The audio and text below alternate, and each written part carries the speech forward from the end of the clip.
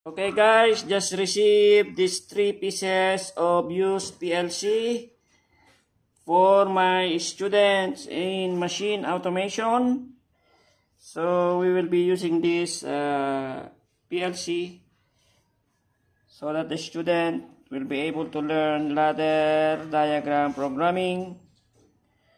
Okay, so what I have here is a Omron, wait a minute, Omron CP1L.